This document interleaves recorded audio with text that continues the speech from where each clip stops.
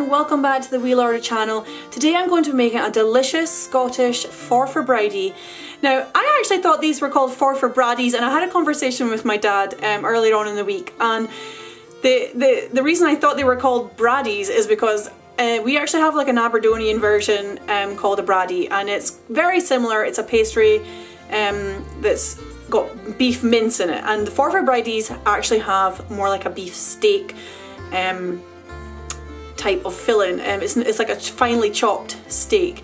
So the reason I was getting confused is because the two are very, very similar. So I'm actually making my forfar with um, beef steaks, like uh, finely chopped beef steak. If you want a really easier version, um, you could use beef mince. It's entirely up to you.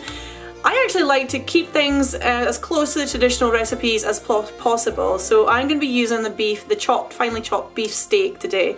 And I would use as tender a cut as you can afford as well because it does um, make a big difference in the cooking. So these are so so delicious, this was a real hearty delicious meal that we had. And to be honest they were actually so filling that I only had half a bridie for my tea. um, they were just really, really filling. So you could probably share them um, or if you're really hungry, I'm sure you enjoy a whole one to yourself. So if you find it a little easier, you can also print out the recipe to go along with this video. It's on my blog, angiemilne.com. And um, there's not many ingredients to this recipe. It's very, very simple. So let's get started.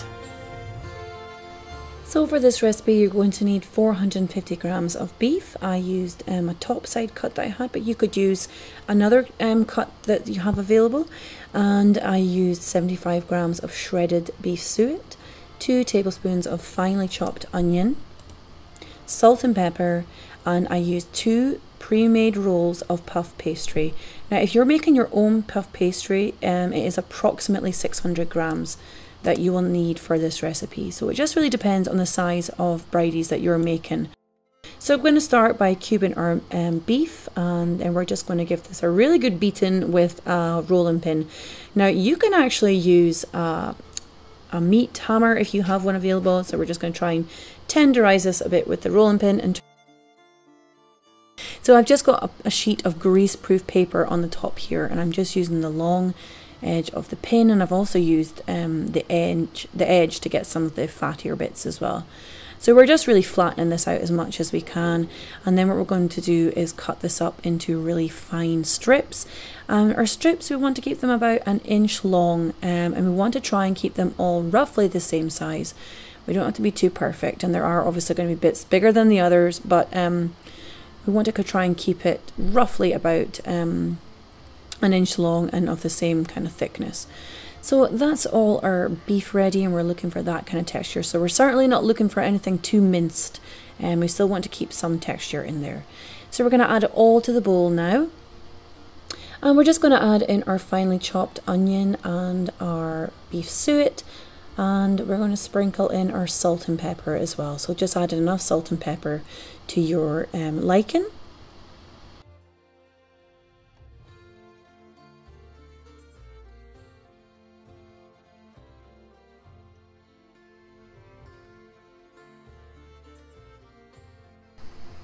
So we're just going to stir our beef and our suet and onion and uh, seasoning through together really well, just so that it's like really well distributed amongst all the beef. So we want to make sure the suet and the onion is um, even in taste and texture when we are popping this into the pastry. So to make the pastry, um, obviously I am just using the pre-made pastry, so I'm just starting out by sprinkling my chopping board with some flour, and I'm just rolling out my roll. it's nice and easy. Um, I've actually let my pastry sit and come to room temperature as well, so that's really important. Otherwise, you may find that it cracks a little bit. So you just want to make sure that it's at room temperature and it's nice and warm and manageable for um, rolling and cutting out. So we're just going to open that out and then fold over and peel off the paper um, from the back of the pastry. Now just make sure you're using enough flour so that it doesn't stick to your chopping board, um, otherwise you'll end up um, having to roll it out and start again. So I'm actually using a bowl to cut out my um, circular circular rounds for my Forfar bridies and your bowl might be bigger, it might be smaller. I got about five Forfar bridies from two rolls of pre-made puff pastry. Now these bridies were quite large, so if your bowl is smaller, um, you might get more four Forfar bridies out of your pastry. It just really does depend, and it doesn't really matter how many you make. Um, you can just distribute your meat evenly amongst how much um, pastry discs you have. So we're just going to cut them all out of the dough here and set them aside. And I did roll up my excess dough and just to make another disc as well. So that's how I did manage to get five out of two sheets. So if you continue to make all of your um, Forfar bridie rounds and I'm just going to move on with the filling. So we're going to fill one half of the circle with our beef mix. And we want them quite like sort of well filled as well. I like to put quite a lot of um, beef into my Forfar bridies. So we're going to fill that up. So don't be shy on your filling quantities. Um, and we're just going to fold that over. And if you're making your own pastry as well, you can kind of get an idea of the thickness to roll it out to as well here. Um, and we're just going to crimp the edges with a fork. So it's very important as well to um, cut a hole in the top of your Forfar bridie and this is just so that you let the steam out whilst it is cooking um, because it does get quite hot in there and you don't want the steam to end up coming out of the crimped area of your Forfar bridie. So we're just using a knife there just to make a decent enough um, hole in the top. So we're just going to pop that onto our baking tray and leave that to the side while we make the rest of them. So I actually use a little bit of water as well on the crimped areas just to help seal it, but you could also use like an egg wash, just a little bit of egg yolk um, and wash that over, or you could use a little bit of milk as well.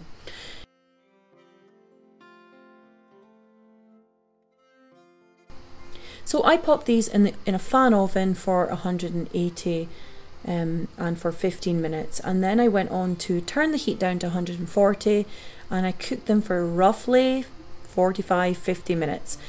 It really just does depend on when your steak is cooked inside um, so feel free to open it up and check and you can see coming out the top of my Forfar bridie there is a lot of steam coming out there so that that has cooked really well in the oven. So these just look so, so delicious and they were such a delicious meal. We actually only needed like half of one of these for a meal because they were so huge.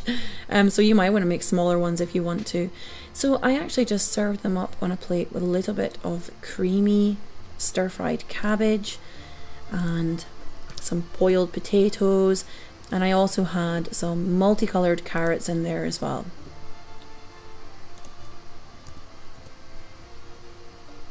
But please feel free to use um, whatever vegetables you have available. And if you're if you're making them um, during the summer, you might want to have a salad with these as well, which would make it a nice and light meal um, to have, or even a salad to have like half of one of these for your lunch would be really nice as well.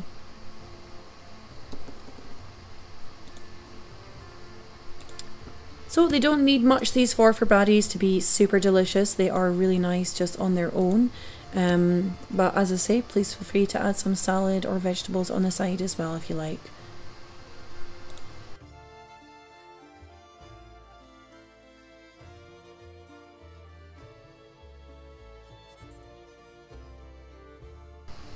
And you can see once the Forfar bridie is ready, the meat is really tender, it's steaming hot, and it is just melt in your mouth deliciousness. It's so, so good.